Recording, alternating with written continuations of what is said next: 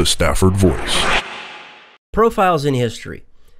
On March 2nd, 1781, he wrote to each of the 13 states, quote, By the act of Congress, herewith enclosed your excellency, will be informed that the Articles of Confederation and Perpetual Union between the 13 United States are formally and finally ratified by all the states.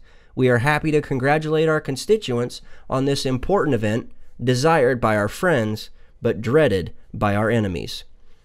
Now, Samuel Huntington was born on July 16, 1731, in Windham, Connecticut. He had a limited education, never moving on to college. At the age of 16, he was apprenticed to a cooper to learn how to make barrels. During this time, he also helped his father on the farm. But he just wasn't satisfied. So, when he finished his apprenticeship at the age of 22, he began to study law not at a college or university, but he was self educated at a library and through some books he would borrow from friends. Now, this paid off when in 1754 he was admitted to the bar and began practicing law in Norwich, Connecticut. That library he studied at, well, it belonged to a gentleman by the name of Reverend Ebenezer Devotion.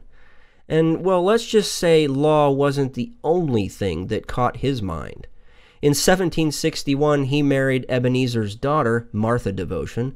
Now, they never had children of their own, but when his when uh, when his brother died, he adopted his niece and nephew and treated them as if they were their own. Now, Huntington began his career in politics in 1764 when Norwich sent him to the lower house of the Connecticut Assembly as a representative. He continued serving the office each year until 1774. One year later, he was elected to the upper house, the governor's council, that is, where he would be reelected until 1784. Now, in 1773, he was appointed to the colony's Supreme Court, later becoming Chief Justice of the Superior Court from 1784 to 87.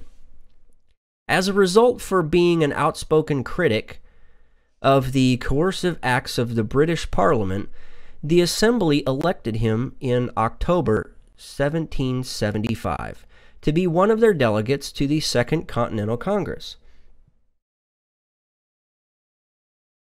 Samuel voted for and signed the Declaration of Independence, and three years later, he replaced John Jay as President of Congress.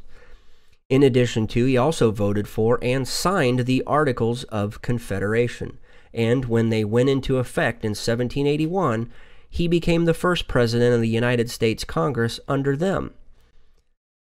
On July 9, 1781, his health forced him to resign and return back to Connecticut. In 1785, he was elected as lieutenant governor, later being elected governor in 86 where he would continue to be reelected until his death. Now, in 1788, Huntington presided over the Connecticut Convention that was called to ratify the United States Constitution. He was so well liked, he received two electoral votes in the first presidential election in 1789. Now, true, everyone knew Washington would win, but the vice president spot was still up for grabs. Now, on January 5th, 1796, at the age of 65, Samuel Huntington died in his home in Norwich, Connecticut.